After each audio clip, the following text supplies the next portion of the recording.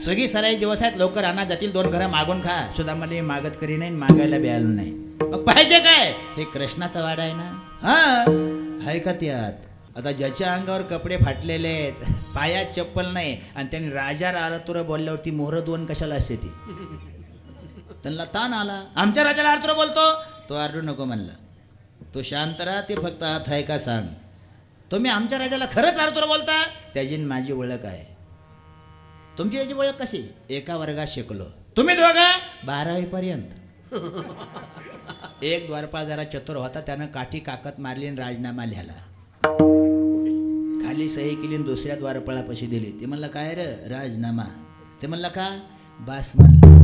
ते म्हणलं झालं काय? आज कळलं म्हणला मला. काय कळलं? ह्यानं एका वर्गात शिकणारा अजून कपड्याचा मेळ लागू दिला नाही.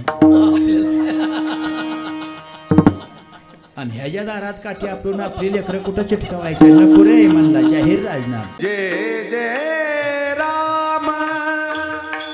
कृष्ण हरी. जय जय राम.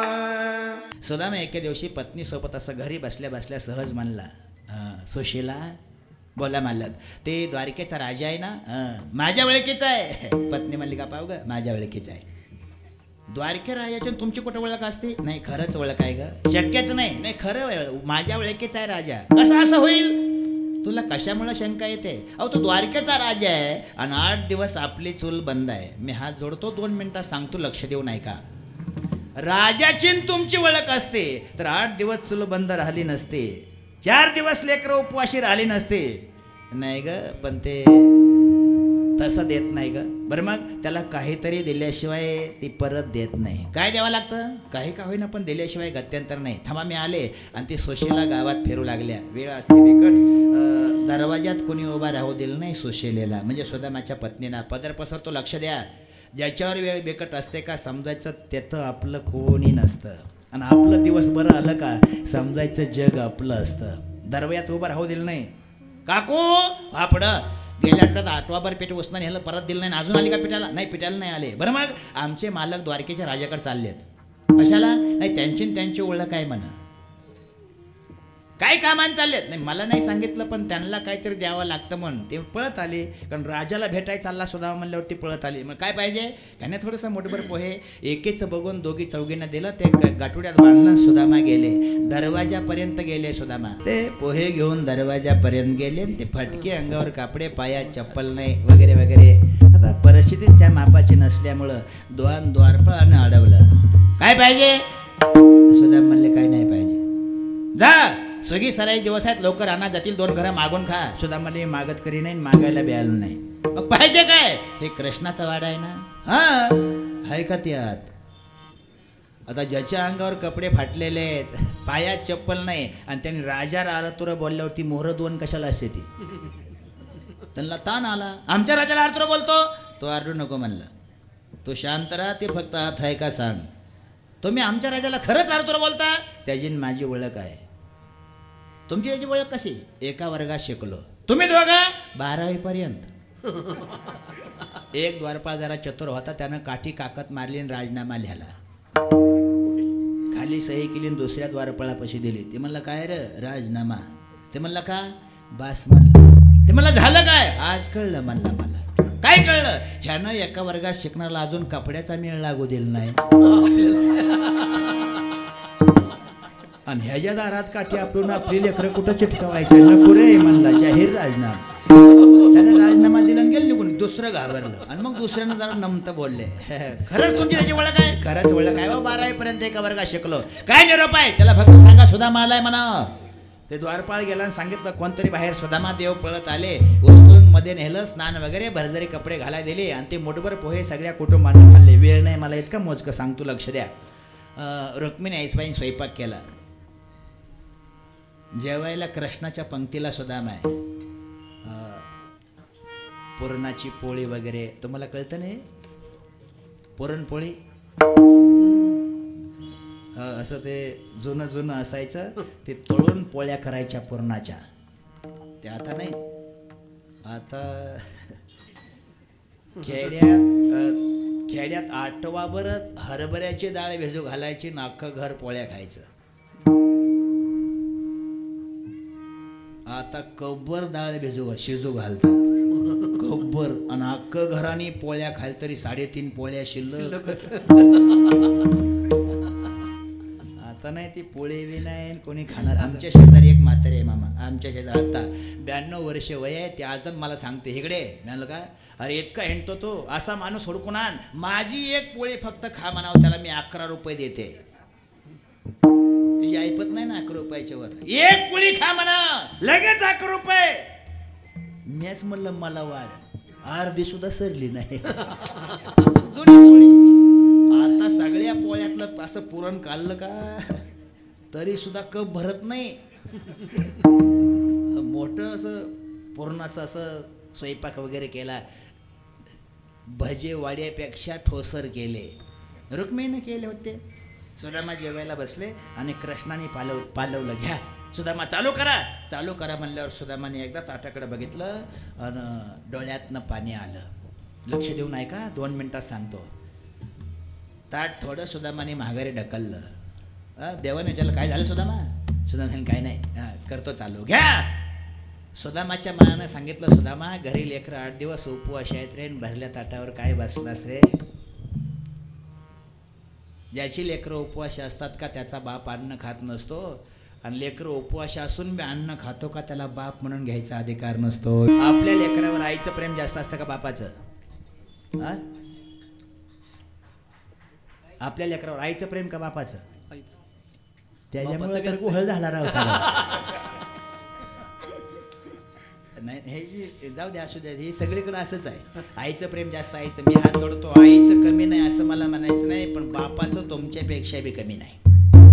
आईला प्रगट करून सांगता येतं आईला बोलून दाखवता येतं वगैरे वगैरे बरंच आहे. पण बापाला रडून बी दाखवता येत नाही आणि प्रगट बी करता येत नाही. न बोलणारा मुलगा जर संध्याकाळी आठच्या पुढं जर घरी नाही आला का तर उंबऱ्यात बसून डोळ्याला पाणी आणतो त्याचं नाव बाप आहे. नाही बोलत मुलगा. कुठं चाललाय सांगत नाही. कुठे गेलाय बी कल्पना नाही. आणि कवा माघारी यायचं ह्याचाही पत्ता नाही. पण जोपर्यंत घरी येत नाही का तोपर्यंत अन्न खात नाही त्याचं नाव बाप आहे. ताट माघारी ढकलून रुक्मिणी विचारलं सुदामा काय काय कमी आहे का ताटामध्ये? काय नाही. मग का खात नाही? सुदामाने सांगितलं ज्याचे लोक लेकरं उपवास असतात माय त्याचा बाप अन्न खात नाही फक्त मला बोलायला येत नाही लेकरं माझी उपवाशी आहे. देवाला बघितलं आणि पोट भरलं माझी तृप्ती झाली दोन दिवस गेले. आणि रुक्मिणीनंच कृष्णाला विचारलं होय काय असलं कसलं हवे? एवढं तर स्वयंपाक मी आपदून तयार केला आणि हे खात नाही. काय घोळ आहे? म्हणजे तुम्हीच विचारा ना. रुक्मिणीने एके दिवशी विचारलं सुदामा का तो तू अन्न खात नाही? नाही माय. पोटच भरतो हो, हे तर एकदा आल्यावर. अन्न आत जायला थोडी सुद्धा रीग राहत नाही. तृप्ती होते. अन्न कसं खावं? मला कळतं सुदामा. काय? तुझी लेकरं उपवास आहे आठ दिवस झालं चूल बंद आहे. नाही तुम्हाला कळून काय फायदा आहे? तुम्ही जगाची लक्ष्मी आहे. नीट ऐका बरं का मी हात जोडून सांगतो. सुद्धा म्हणतात तुम्हाला कळून काय फायदा आहे? तुम्ही जगाची लक्ष्मी आहे. तसं नाही रे सुदामा. मी सकाळी एकदा दुपारी एकदा संध्याकाळी एकदा तुझ्या घरला येते. लक्ष्मी म्हणता का सकाळी येते दुका दुपारी येते संध्याकाळी येते. मी सहजासहजी कुणाच्या घरी जात नाही. लक्ष्मीपूजनला दीपवाळीमध्ये घरची माता म्हातारे घरीच ठेवून सासरवाडीकडल्या माणसासोबत जे लक्ष्मीपूजन करतो त्या घरी सात पिढ्या जात नाही. तुम्हाला नाही कळलेलंच बरं.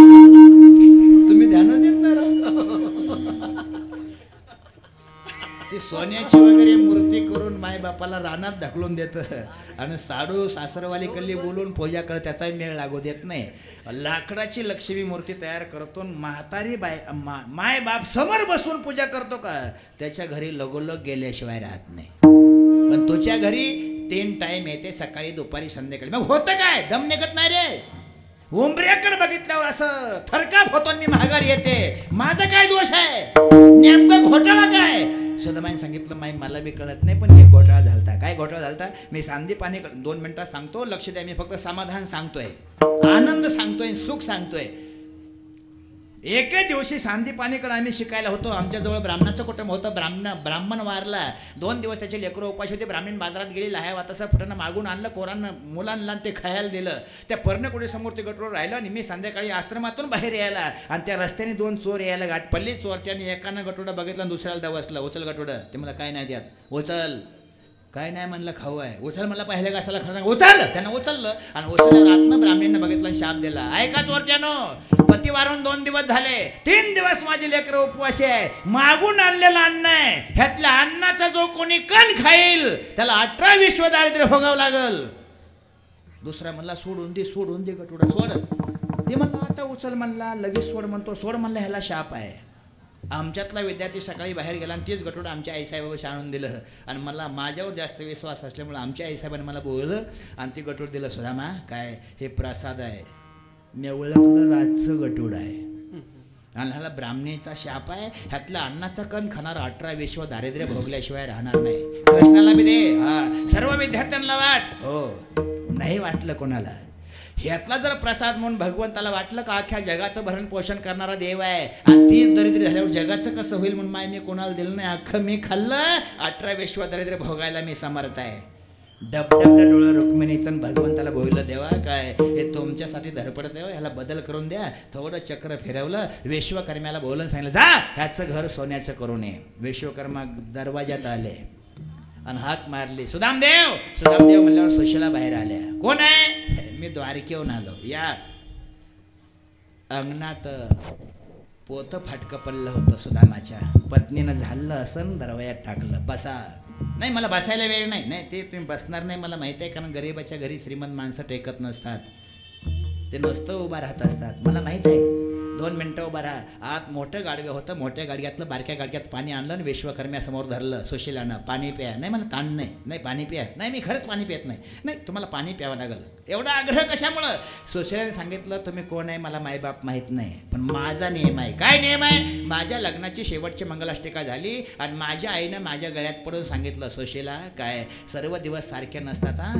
म्हणजे? श्रीमंत श्रीमंती कधी टिकून राहत नसते आणि गरिबी गरिबीलाही टिकून राहत नसते. चढ उतार संसारात कायम असतो. किती बी श्रीमंती आली तरी बी आपल्या घरी आयला अतिथी बेगर अन्न पाण्यात जाऊ देऊ नको. आणि किती बी गरिबी आली तरी बी बेगर पाण्याचा जाऊ देऊ नको. आईला मी माझ्या लग्नात शेवटच्या मंगल अष्टिकेला वचन दिलंय. तुम्ही कोण आहे माहीत नाही पण बेगर पाण्यात जाऊ देणार नाही. प्या पाणी! गपचिप पेल येते बोला आता काय काम आहे? नाही काय काम नाही. तुमचं घर दाखवा. कशाला? सोन्याचं करायचं आहे कोण म्हणले? कृष्ण. कशामुळं? नाही, तुमच्या नाही का त्यांनी पोहे खाल्ले? आणि पोह्याच्या मोबदल्यात तुमचं घर सोन्याचं करायचं आहे माफ करा. सुशिलेला सांगितलं. पोह्याच्या मोबदल्यात जर घर सोन्याचं करायचं असेल तर आमच्या एकट्याचे पोहे नव्हते. मग अख्ख्या गावाचे होते. गाव सोन्याचं करायचं हाय असं महागारी ते म्हणले मंजुरी बारकी आहे बजेट छोट आहे तुमच्या घरापुरतं. लोकांचं घेऊन कशाला बसला? गावाचा काय संबंध आहे? नाही गावाचे पोहे जा महागारी! महागारी गेले. देवाने याच्याला काय झालं? त्यांनी त्यांची मोठी इच्छा आहे त्यांची. अख्खं गाव सोन्याचं करू जा! अख्खं गाव सोन्याचं करून या. अख्खं गाव सोन्याचं केलं. पदर पसरवतो ह्याचं नाव विचार. गाव सोन्याचा दिला. अख गाव सोन्याचं करून घेतलं. आनंद पाहिजे ना? छंद पाहिजे. आणि आवड ही तेवढीच पाहिजे. ह्यातलं एक कमी असेल का सुख प्राप्त होत नाही. आणि जवळ सांगतो अं,